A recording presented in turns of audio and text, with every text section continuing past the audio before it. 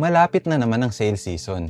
Isa ka ba sa mga naghahanap ng mabibili sa 11-11 o 12-12 or posibleng meron ka nang naka-add to cart? Kung aspiring vlogger ka or content creator ka, marahil kailangan mo ng isang tripod. Sa video na to, ipapakita ko sa inyo ang isa sa mga personal kong ginagamit, ang Ulanzi MT33. Disclaimer muna tayo, itong MT33 ay hindi marireplace ang isang full-size tripod. Pero maraming features ang tripod na to. Isa sa mga feature niya itong level para makita natin yung level ng horizon kung pantay ba. Ito namang mount ay standard 1/4 inch mount. Pero may magic dito. Pwede mo siyang gawing mount ng phone. Isa pa, meron din tong cold shoe mount para sa mga ibang accessories ng DSLR or mirrorless cameras. At meron pang isang standard female 1/4 inch thread para sa iba pang accessories. Parang gorilla pad din siya, pero mas slimmer, I think mas flexible siya. Isa pang kagandahan dito ay pwede mo siyang ilipat sa iba mong tripod. So yung ball head niya na may cold shoe mount, pwede mong gamitin sa full size tripod mo. Madali lang din siyang ilock dahil ito yung lock. Pag i-adjust, lalak mo lang.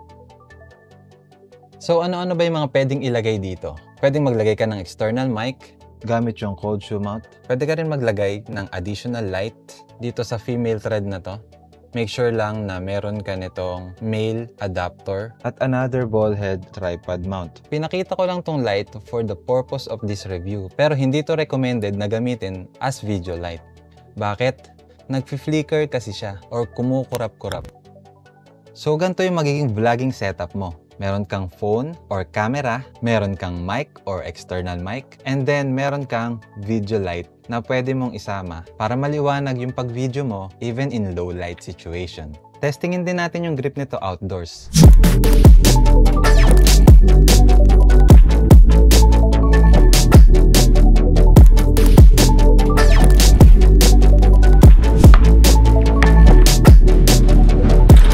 Okay, I'm testing this Ulanzi flexible tripod. Makikita nyo, merong mga kumakandidato, nagmo-motorcade.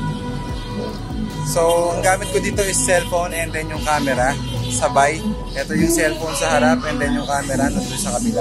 Para makita yung nasa kabilang side. Actually, medyo mabigat pag dalawa yung device pero kaya naman. Walang uga, mukhang matibay naman tong Ulanzi MT33. So, dito, na-try natin. And then yung isa doon sa may kahoy. So dito kanina yung kahoy na yon yung dos por dos. Tapos yung tubo naman na isa is ito. And then yung isa is yung pole ng basketball. Okay, kaya kung naghahanap ka ng isang tripod tulad nito, pwede mo i-consider ang pagbili nito dahil cheaper to sa Gorilla Pad tulad nito at mas mabigat yung capacity na kaya niya for a cheaper price. Para sa susunod pang review ng mga video equipments or content creation tools, hit the like button. Pero kung hindi mo nagustuhan, pindutin mo lang ng dalawang beses ang like button. Subscribe to my channel and I will see you in the next video.